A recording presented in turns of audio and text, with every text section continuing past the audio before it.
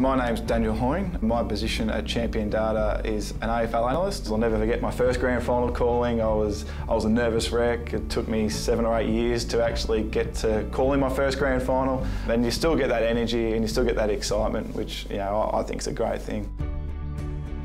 Becoming a match caller is, is quite difficult. It's quite challenging. We do call uh, so many, you know, so many stats. Nankervis Rakar kick, ineffective clearance contest. You need to be able to ID every single player across every single club. You know, our job on game day is we need to be able to look um, straight away and identify who that player is. Cotchin loose handball tackled by Graham. There's five of us in the champion data box who all have uh, various different roles. Next to me we have an interchange operator. Their role role is to record who is coming on and off the ground at all times.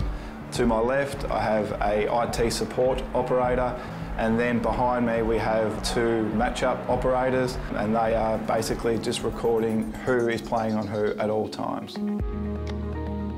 So while we're in the box, uh, we have five people in our bunker. So we have a back caller who's listening into my call and if I happen to make any mistakes or miss any bits of play, they have the vision in front of them, they make adjustments accordingly. So we have a keyboarder, they have to listen to my call and then they input all the data and then that gets fed out to all clients. We also have a graphical capture operator.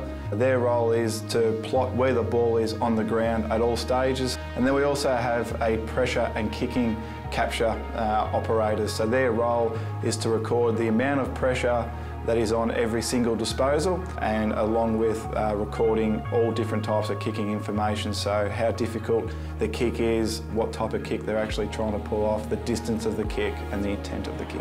The staking a lead mark, play on, or a goal, mark, mark, play on. Stats are available sub-second. We have a live system that's in place where coaches, media, you know, TV, radio, apps where the data is coming through as it actually happens. You know, we're in an industry now where where clients can't afford to wait within you know, a minute, two minutes. They want, they want their data and they want it live. So we have to provide that service and the service that we provide is within sub-second.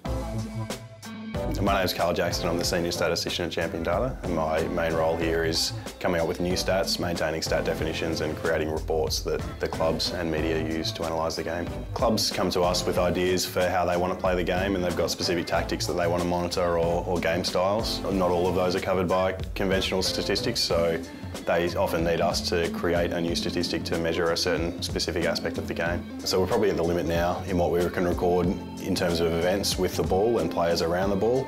Uh, from that we can extrapolate out to, to, new metrics and new ways of deriving information from that. But the, the next thing we're going to see is, is information coming from the player tracking, so the GPS units that the players use. Uh, we've had, we've had that information for all of this year and we're getting better at turning that into tactical analysis and, and information re relating to where the players are in relation to each other and to their opponents. But the, the interesting development is going to be when that player tracking information gets converted into tactical measures. So identifying when teams have got a loose man in defence or a loose man at stoppage, looking at separation distance for defenders, are they playing in front or behind? So specifically related to, to the tactics and the structures of teams.